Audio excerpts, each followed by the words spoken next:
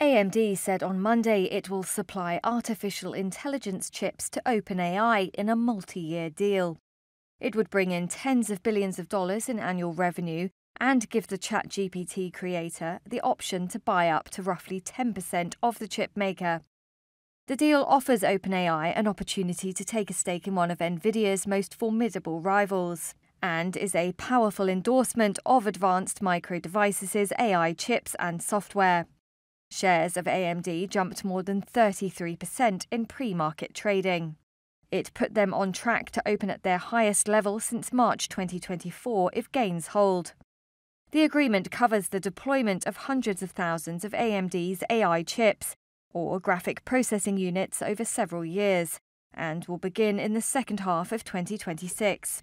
AMD said OpenAI would build a 1 gigawatt facility based on its forthcoming MI450 series of chips beginning next year.